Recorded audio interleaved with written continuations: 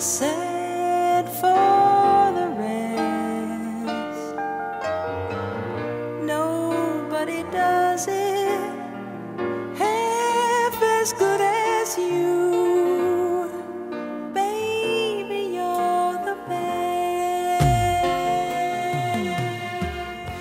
So we've had a lovely trip, or I have, down memory lane, courtesy of Darren, um, who's this wonderful VHS Forever program is all about. And these are my my two little contributions to the to the 70s.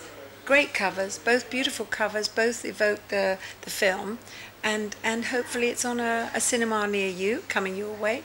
I know we're at Manchester, and and other places, so enjoy, and and hopefully you learn and keep keep with VHS forever. Please do. Bye.